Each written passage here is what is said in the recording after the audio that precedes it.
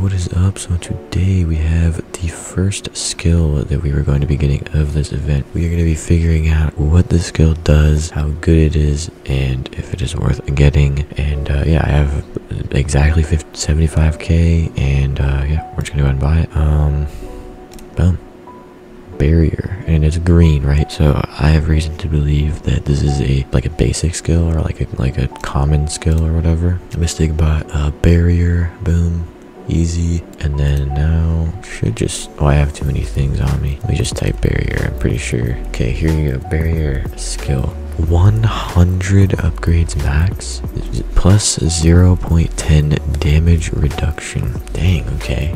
100 upgrade i got 10 um saved up so that's 1% damage reduction. Um but yeah there you go barrier. Go ahead and buy that. We'll throw on 10 and uh yeah so that's just 1% damage reduction i think if you look here yeah it'll say it so um yeah, I'm probably gonna, I mean, 10% damage reduction is not that good. I'd probably go for health over barrier. I think barrier would be like a later down the road type of skill. Like, it's not super good, to be honest. I mean, 10% damage reduction is is pretty good if you can get all 100 upgrades but until then i mean having 1% is like bro that's like nothing. But if i can upgrade my max health like i mean there's still so many. So this is regen actually but pretty pretty sick.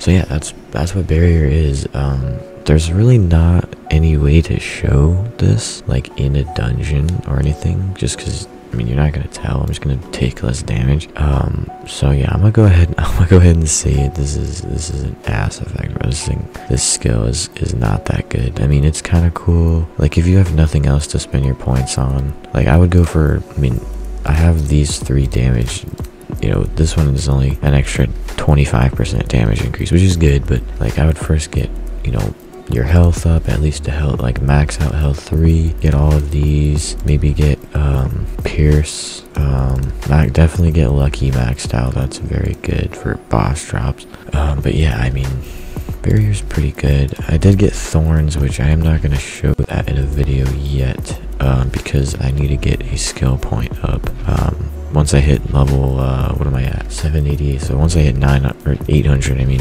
uh, then I should be able to show you guys that one. But uh, yeah, that's that's pretty much it for that. That's uh, yeah, I don't even know. There's not a whole lot else to say. This is definitely gonna be a very short video. Uh, go ahead and comment what what else you guys want to see. If you want to see a specific weapon or whatever showcased, you know, lately my videos have been doing pretty well. So um, anything from this new i'm probably going to try to review as many things as i can like from this uh, the fall shop as well as the what you call it pumpkin patch. And uh, yeah i can probably do this pickaxe too because uh, i know someone that has it. So yeah i mean that's gonna be pretty much it for this video. I know this is a very short one um probably not too too interesting but that is what the barrier uh that's what barrier does it's just damage reduction. So if you guys did enjoy this video and you want to see more which i'm sure you do because this was a very low-key video then you know click on the next video watch something else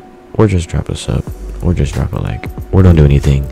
That is up to you but we are on the road to 2k so stay tuned for that. Probably gonna do a giveaway or something. So yeah. Anyway that's about it. Peace